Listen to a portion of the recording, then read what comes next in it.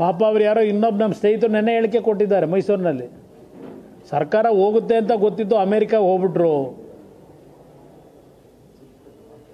ಇಲ್ಲಿದ್ದು ಸರ್ಕಾರ ಉಳಿಸ್ಬೋದಾಗಿತ್ತು ಅಂತ ಹೇಳಿ.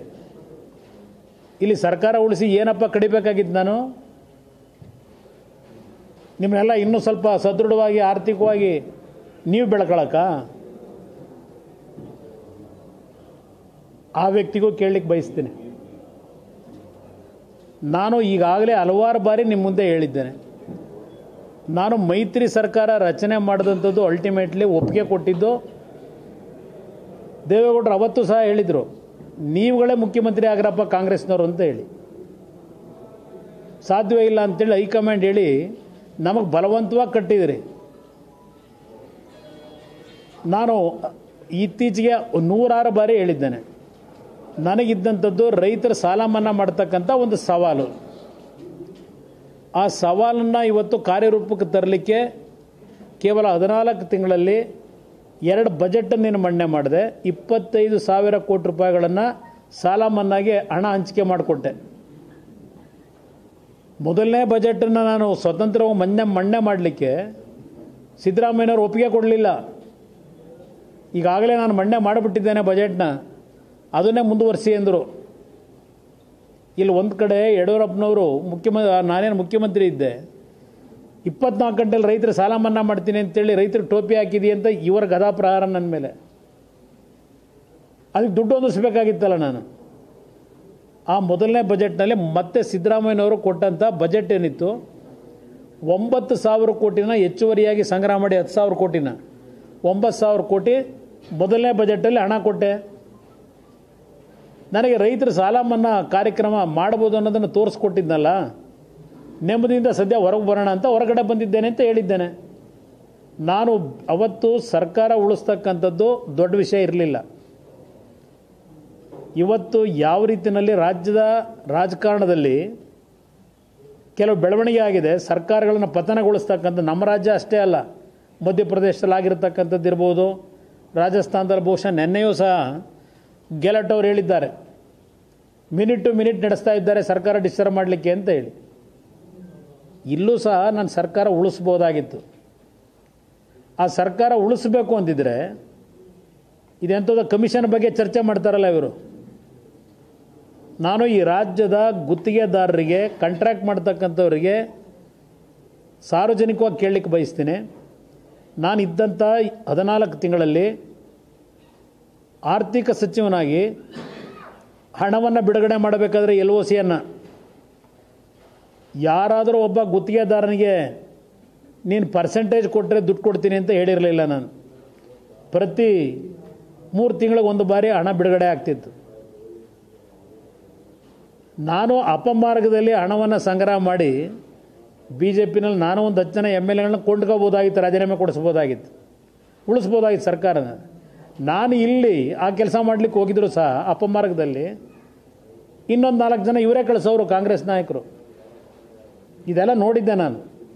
ಪಾಪ ಮೈಸೂರಿನ ನಮ್ಮ ಹಳೆ ನಾಯಕರು ಹೇಳಿದಾರಲ್ಲ, ಕುಮಾರಸ್ವಾಮಿ ಮುಖ್ಯಮಂತ್ರಿಯಾಗಿ ಇಬ್ಬರು ಸೇರಿ ತೆಗೆದ್ರು ಅಂತ ಹೇಳಿದಲ್ಲ ಸರ್ಕಾರನ.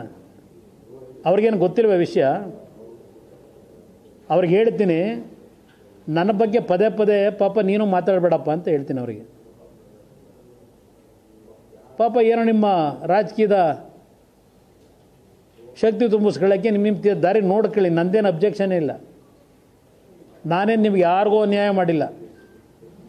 ನಿಮ್ಗೆ ಯಾರಿಗೂ ಹೊರೇನೋ ಒರೆಸಿಲ್ಲ ಆರ್ಥಿಕವಾಗಿ. ಕುಮಾರಸ್ವಾಮಿನೂ ಸಹ ಕಾರಣ ಅಂತ ನಿನ್ನೆ ಹೇಳಿಕೆ ಕೊಟ್ಟರು ಅಂತ ನೀವು ಹೊಡೆದ್ರಲ್ಲ. ಆ ವ್ಯಕ್ತಿಗೆ ಹೇಳ್ತೀನಿ,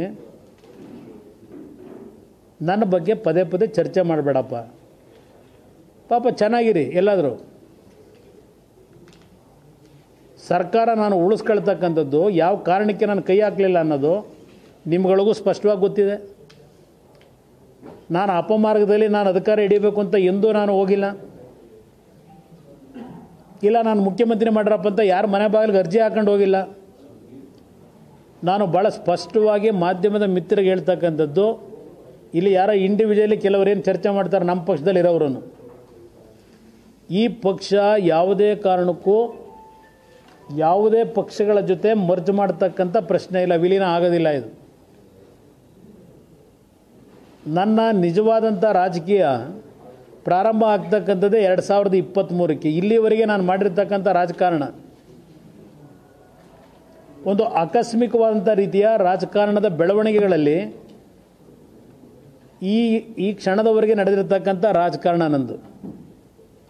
ಎರಡು ಸಾವಿರದ ಇಪ್ಪತ್ತ್ಮೂರರಿಂದ ಪಕ್ಷದ ಕಾರ್ಯಕರ್ತರು ರಾ ನಾಡಿನ ಜನತೆಯ ವಿಶ್ವಾಸದೊಂದಿಗೆ ಸ್ವತಂತ್ರವಾಗಿ ಸರ್ಕಾರವನ್ನು ತರ್ತಕ್ಕಂಥ ನಿಟ್ಟಿನಲ್ಲಿ ಯಾವ ರೀತಿ ಹೋಗಬೇಕು ಅನ್ನೋದ್ರ ಬಗ್ಗೆ ಈಗಾಗಲೇ ಕೆಲವು ಹೊಸ ರೀತಿಯ ಪ್ರೋಗ್ರಾಮ್ಗಳಿಗೆ ಚಾಲನೆ ಕೊಡ್ತಾ ಇದ್ದೇವೆ.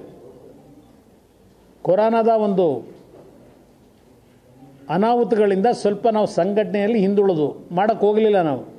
ಸಾಮಾಜಿಕ ಅಂತರವನ್ನು ಕಾಯಬೇಕು ಅಂತಕ್ಕಂಥ ದೃಷ್ಟಿಯಿಂದ. ಜನವರಿ ಹದಿನೈದನೇ ತಾರೀಕು ಸಂಕ್ರಾಂತಿ ಹಬ್ಬದ ನಂತರ ಪಕ್ಷಕ್ಕೆ ಒಂದು ಹೊಸ ರೀತಿಯ ಪುನಶ್ಚೇತನಗೊಳ್ತಕ್ಕಂಥ ರೀತಿಯಲ್ಲಿ ಗ್ರಾಮ ಮಟ್ಟದಿಂದ ಯಾವ ರೀತಿ ಪಕ್ಷದ ಸಂಘಟನೆ ಆಗಬೇಕು, ಅದು ಕೇವಲ ಹಳೆ ಕರ್ನಾಟಕ ಅಷ್ಟೇ ಅಲ್ಲ, ಉತ್ತರ ಕರ್ನಾಟಕದ ಭಾಗದಲ್ಲೂ ನಮಗೆ ನೆಲೆ ಇಲ್ಲದೆ ಇರತಕ್ಕಂಥ ಕ್ಷೇತ್ರಗಳಲ್ಲೂ ಪಕ್ಷದ ಸಂಘಟನೆಗೆ ಒಂದು ಹೊಸ ರೀತಿಯಲ್ಲಿ ಆ ಭಾಗದ ಜನರ ವಿಶ್ವಾಸ ಗಳಿಸಲಿಕ್ಕೆ ಪ್ರೋಗ್ರಾಮ್ಗಳು ನಡೀತಾ ಇದೆ, ಪ್ರಾರಂಭ ಮಾಡ್ತಾ ಇದ್ದೇವೆ. ಜನವರಿ ಹದಿನೈದರ ನಂತರ ನಿಮ್ಮ ಮುಂದೆ ಈ ಎಲ್ಲ ನಮ್ಮ ಚಟುವಟಿಕೆಗಳು ಏನು ಅಂತಕ್ಕಂಥದ್ದನ್ನು ನೀವೇ ಕಾಣ್ತೀರಿ, ನನ್ನ ಅಭಿಪ್ರಾಯದಲ್ಲಿ. ಇವತ್ತು ಯಾವ್ಯಾವ ಪಕ್ಷಗಳು ಯಾವ ರೀತಿ ನಡ್ಕೋತಾ ಇದ್ದಾರೆ, ಈ ರಾಜ್ಯದ ಸಮಸ್ಯೆಗಳು ಏನಿದೆ, ಇದೆಲ್ಲ ಸೂಕ್ಷ್ಮವಾಗಿ ಗಮನಿಸ್ತಾ ಇದ್ದೇನೆ. ಇಲ್ಲಿ ನಿನ್ನೆಯಿಂದ ಪುನಃ ಈ ಒಂದು ಗ್ರಾಮ ಪಂಚಾಯತಿ ಚುನಾವಣೆಗಳು ನಡೀತಕ್ಕಂಥ ಸನ್ನಿವೇಶದಲ್ಲಿ ಈ ಒಂದು ವಿಲೀನದ ಒಂದು ಕಥೆ ಆಗ್ಬಿಡ್ತೋ ನಂಗೆ ಗೊತ್ತಿಲ್ಲ ನನಗೆ. ಅದಕ್ಕೆ ಹೇಳಿದೆ, ಈ ಒಂದು ರಾಜ್ಯದಲ್ಲಿ ಜೆ ಡಿ ಎಸ್ ಪಕ್ಷ ಮತ್ತು ಕುಮಾರಸ್ವಾಮಿ. ಅಷ್ಟು ಸುಲಭವಾಗಿ ರಾಜಕೀಯದಿಂದ ಕಣ್ಮರೆ ಆಗಲಿಕ್ಕೆ ಆಗೋದಿಲ್ಲ ಇಲ್ಲಿ. ಸುತ್ತ ಸುತ್ತುತ್ತಿದು ಇಲ್ಲೇ ಸುತ್ತುತ್ತೆ ಅಂತಕ್ಕಂಥದ್ದನ್ನು ಹೇಳಿರ್ತಕ್ಕಂಥದ್ದು. ಎರಡು ಸಾವಿರದ ಇಪ್ಪತ್ತ್ಮೂರಕ್ಕೆ ಚುನಾವಣೆ ಯಾವ ರೀತಿಯಲ್ಲಿ ಬದಲಾವಣೆಗಳನ್ನು ಈ ನಾಡಿನ ಜನತೆ ತರ್ತಾರೆ ಅಂತಕ್ಕಂಥದ್ದು ಗೊತ್ತಿದೆ. ಅಸುಲಭವಾಗಿ ಸುಲಭವಾಗಿ ಬಿಟ್ಟು ಹೋಗ್ತಕ್ಕಂಥದ್ದೇನಿಲ್ಲ ಪಾಪ, ಯಾರೋ ನಮ್ಮಲ್ಲೇ ಒಂದು ಆರು ತಿಂಗಳು, ಎಂಟು ತಿಂಗಳು ಎಂ ಎಲ್ ಸಿ ಆಗಿದ್ದರು. ಅವರು ಒಂದು ಹೇಳಿಕೆ ಇವತ್ತು ಕೊಟ್ಟವ್ರು ನೋಡಿದೆ. ಸ್ವತಂತ್ರವಾಗಿ ಸರ್ಕಾರ ತನ್ನಿ ಅಂತ ಹೇಳಿ ಸವಾಲು ಹಾಕಿದ್ದಾರೆ. ಈಗೆಲ್ಲ ಲೋಯರ್ ಅಲ್ಲಿ ಹೋಗಿ ಏನು ರಾಜಕೀಯದಲ್ಲಿ ಪಡಿತಾರೆ ನೋಡೋಣ, ಮುಂದಿನ ದಿನಗಳು ಪಾಪ. ಹೋಗಿರೋರು ಎಷ್ಟೆಷ್ಟು ಜನ ಇಲ್ಲಿಂದ? ಪಾಪ ಇದು ಯಾರೋ ನಿಮ್ಮ ಸಿದ್ದರಾಮಯ್ಯವ್ರು ಒಬ್ಬರು ಬಿಟ್ಟರೆ ಇನ್ಯಾರು ಅಲ್ಲಿ? ದೊಡ್ಡ ಮಟ್ಟದ ಫಲ ಸಿಕ್ಕಿಲ್ಲ ಅಲ್ಲಿ.